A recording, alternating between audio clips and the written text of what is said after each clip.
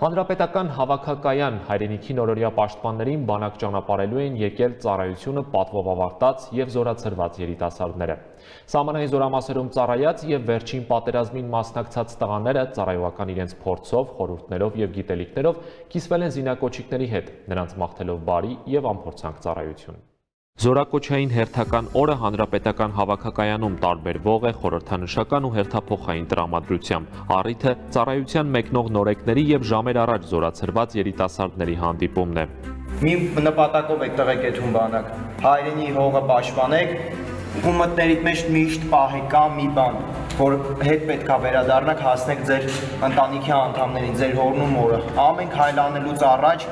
ամեն քայլ գցելուց առաջ մտածեք այդ մի բանի մասին։ Երկու տարի առաջ նրանք էլ այս նստարաններին նստած մտերիմների եւ ընկերների բարեմաղթանքներն ու խորհուրդներն էին լսում։ Այժմ կրկին այստեղ են, սակայն արդեն այլ կարգավիճակով, ավելի հասուն մտածելակերպով ու մարտական փորձառությամբ, պատերազմի միջով անցած եւ հայրենիքը ամենաբարձր արժեք համարող մարտիկի հոգեբանությամբ իմ ընտանիքը, իմ հարազատները, իմ հայ ազգը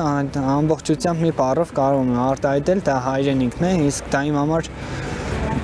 ամենամեծ նշանակություն ունեցող բառն է։ Նորակոճիկներին խորհուրդ տվեցի, որպեսզի սիրով ծառայեն, պատվով եւ փառքով վերադառնան իրենց տուն։ Հուլիսյան մարտերի եւ 44-օրյա պատերազմի մասնակից Վարդան Գրիգորյանի խորին համոզմամբ էլ բանակը անփոխարինելի դպրոց է։ Հայրենիք ասվածն ամբողջ էությամբ ընկալելու եւ այն պահելու ու պաշտպանելու պատրաստակամությունը գործով ապացուցելու համար։ Մեզ փոխարինողներին ես կցանկանամ առաջին հերթին բայցարայություն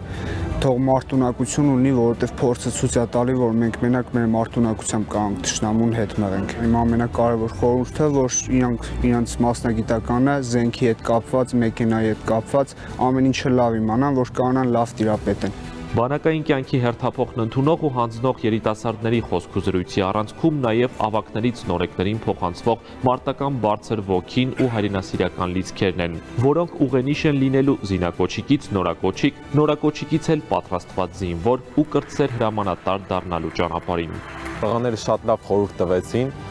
որ պետքա լավատես լինենք ու դրական մտքերով գնանք ծառայենք, գնում եմ ծառայեմ հանուն հայրենիքի մարտական ոգով մեր պարտքը հանձնենք հայոց բանակին վերադառնանք։ Հանդիպումն ավարտվում է զորակոչային ընթացակարգը շարունակվում։ Բոլոր փուլերն անցնելուց հետո զինակոչիկները եզրափակիչ փուլին են հասնում։ Վիճակահանությամբ ընտրում են այն զորամասի համարը, որտեղ էլ առաջիկա երկու տարիներին կայանալու են որպես հայրենիքի նորորյա պաշտպաններ։ Հովանես Պարաշյան, Արամ Սիմոնյան, Զինուշ